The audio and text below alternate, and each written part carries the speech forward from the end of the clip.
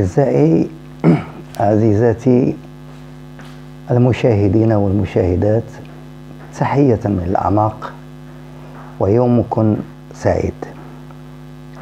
من المعلوم أن حزب الاتحاد الاشتراكي للقوات الشعبية حقق طفرة نوعية خلال الانتخابات البرلمانية والجماعية التي جرت يوم 8 شتنبر في أجواء استثنائية وطنيا وعالميا. وقد أحرز الاتحاد الاشتراكي بمدينة فاس أي بمجلس فاس على تسعة مقاعد ويرجع الفضل في ذلك أو في هذا النجاح إلى التدبير المحكم للانتخابات الجماعية والبرلمانية إلى الأستاذ جواد شفيق الكاتب الإقليمي وعضو المكتب السياسي لحزب الاتحاد الاشتراكي وتلاحم المنتخبين وكافة الاتحاديين والاتحاديات بفاس. وقد عقدوا وقد عقد أحزاب الاتحاد الاشتراكي والبام والأحرار والاستقلال اتفاقية من أجل تسيير مدينة فاس. على أن يتولى حزب الأحرار الرئاسة لحصوله على 17 مقعد بمجلس المدينة. وحزب الاستقلال حصل على 13 مقعد والبام على 12 مقعد في حين أحرز حزب الاتحاد الاشتراكي على تسعة مقاعد. وقد تم الاتفاق أيضا على أن ينال الاتحاد الاشتراكي للقوات الشعبية نيابتين للرئاسة وكاتب المجلس ونائبه. وخلال انتخابات أعضاء المكتب المسير لمجلس فاس يوم 20 شتنبر تم خرق الاتفاق وحرم الاتحاد الاشتراكي من الكاتب ونائبه بعد أن انضم إلى التحالف حزب التقدم والاشتراكية والحركة الشعبية. غير أن المستشارين الاتحاديين والاتحاديات عقدوا اجتماعا مع الكاتب الإقليمي وأصروا على مواصلة التحالف خدمة خدمة لمدينة فاس ولساكنتها وعسى أن يتم إنقاذها من التهميش الذي طالها خلال السنوات الماضية. وفي يوم 6 أكتوبر عقدت القيادة الاتحادية عقدت القيادة الاتحادية بفاس ندوة صحافية سلط فيها الكاتب الإقليمي جواد شفيق الضوء على أجواء الانتخابات والآفاق المستقبلية للمدينة في ظل التحالف المذكور بالإضافة إلى إجابته على الأسئلة التي طرحها الإعلاميون الذين حضروا حضروا الندوة. بكثافة حيث قال شكرا جزيل الشكر على تلبيسكم الدعوة ديال الاتحاد الاشتراكي اليوم لحضور هذه الندوة وتنعتذر كثير الاعتذار منكم على الوقائع اللي غير لائقة بحزب بحال الاتحاد الاشتراكي ومناضليه واللي بدينا بها الندوه للاسف الشديد. ولكن اللي نبغي نأكد لكم هو أنه كما لاحظتم أنه يعني هذيك حدث وقائع معزولة لاحظتوا التجاوب ديال الاتحاديين بصفة شبه مطلقة. آه، في رفضهم لما وقع. اللي نبغي ناكد لكم هو أنه إحنا نحس باعتزاز كبير أن المجهود اللي بذلوه الاتحاديين هذه السنتين ما ضاعش. اثمر نتائج طيبة جدا. كنا نتمنى أن نكون في وضع أفضل وطموحنا كان أن نحقق نتائج أكبر من من ما حققناه ولكن كيفما كان الحال آه، أن أن تأتي من صفر مقعد إلى 20 مستشار وبرلماني فهي ماشي واحد ماشي شي حاجة سهلة. حنا يمكن الحزب الذي خلق المفاجأة في الانتخابات بمدينة فاس حنا الانتخابات اللي فاتت كان عندنا صفر مقعد في كل المؤسسات. اليوم حنا عندنا 20 مستشار عندنا اربعه في مجلس العمالة عندنا نائب برلماني في فاس الجنوبية وعندنا مسؤوليات في كل المقاطعات عندنا نيابة الرئيس في مجلس المدينة وفي كل المقاطعات وهذا شيء مفرح.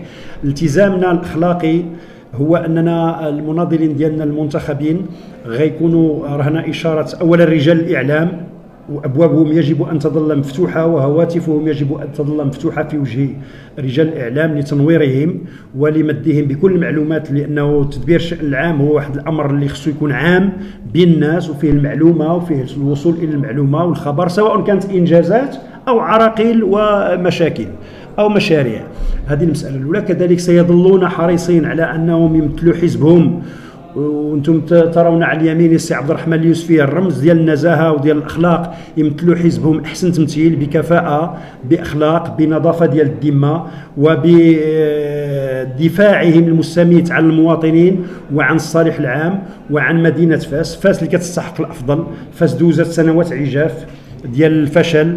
وما دار فيها والو. نتمناو أنها تنطلق. آه، المناضلين ديالنا المنتخبين غيكونوا آه، رهن إشارة السلطات العمومية. ما حتى اليد وحدة ما كتصفقش. حنا شركاء في هذه المدينة. كاين سلطات عمومية كاين إدارات كاين منتخبين آخرين كاين مؤسسات ديال الدولة. خصنا نتعاونوا معها لأن فاس ما تعاونش عليها الجميع.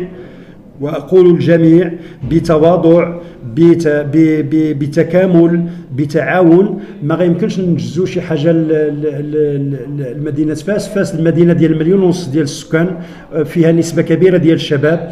أنا لا أعتقد بانه الجماعة قلت لكم الجماعة عندها مهام أساسية الإدارة الجماعية تكون قريبة من الناس تكون نظيفة تكون efficace تكون الخدمات ديال القرب النظافه أولويات الاولويات النقل الحضري. ما بقاش مقبول فاس إن كاين مناطق آهلة بالسكان ما كيوصلهاش الطوبيس المرفق العمومي الجماعي والنقل الحضري مسؤولية الجماعة توصل لأي ساكن واخا يكون في أي بلاصة. ما بقاش المبرر حقا ماشي rentable. المرفق العمومي ما فيهش المنطق التجاري. فيه المنطق ديال الخدمة العمومية. اولا القضية ديال النظافة كذلك. القضية ديال الإنارة العمومية. القضية ديال المناطق الخضراء. أنتم تشوفوا شارع محمد الخامس كتكون داير فيه يعني جميل جدا ولا شارع الحسن الثاني جميل جدا ولكن الإنارة بحال اللي شاعلين الشمع.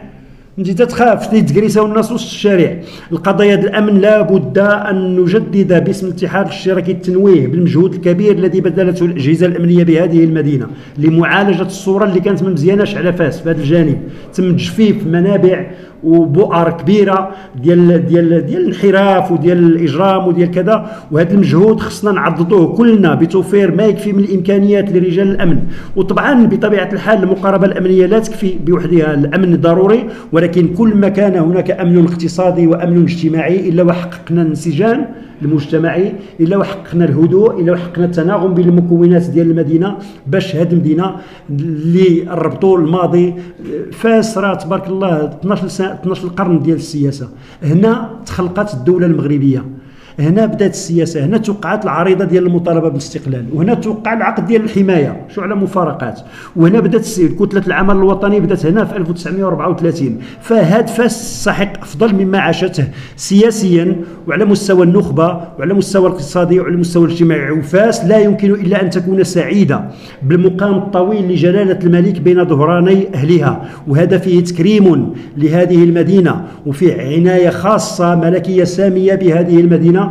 ولليقين لليقين بأنه من بعد. ساكنة فاس ما شاركت في الانتخابات الأخيرة. واختارت من اختارته.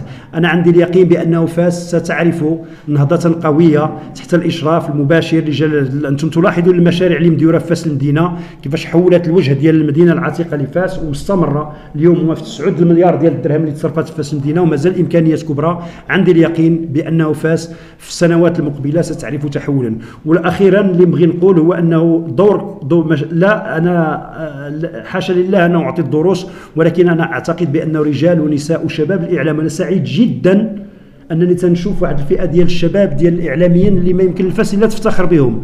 أنتم دوركم كبير جدا.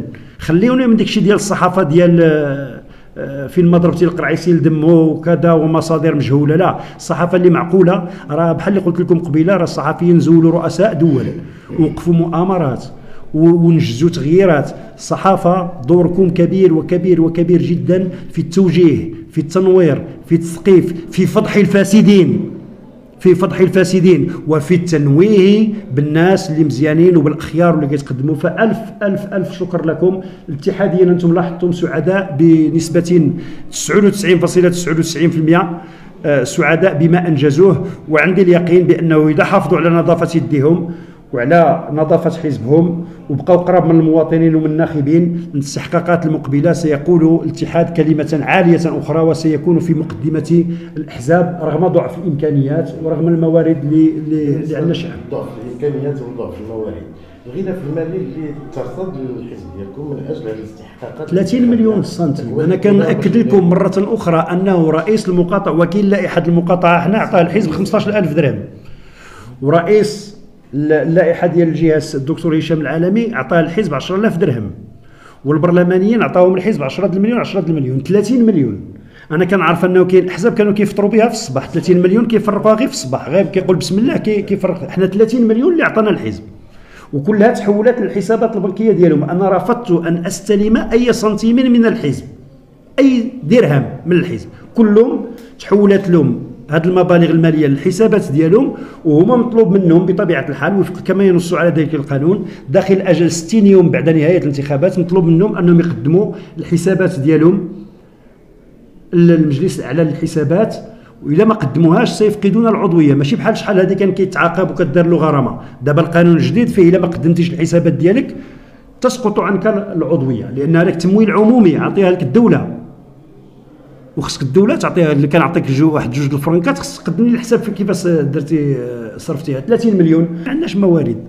لا مورد لنا إلا تضحيات المناضلين. هذا كيعطي ريال وهذا جوج وهذا 10 وهذا كذا. وهذا كيبان لكم هذا المقر هذه 60 عام مفتوح وأصررنا أنه يبقى مفتوح. رغم الإكراهات ورغم أننا ما كنا ممثلين حتى في حاجة ولكن العزيمة ديال الاتحاديين والايمان ديالهم بأنه آه الأحزاب الكبيرة يمكن تشيخ يمكن تمرض ولكن لا يمكن الاتحاد الاشتراكي لا يمكن. أعزائي لا تنسوا الانخراط في قناتنا وذلك دعم لخطنا التحريري البعيد عن الإثارة والأخبار الكاذبة. إلى اللقاء في فرصة أخرى.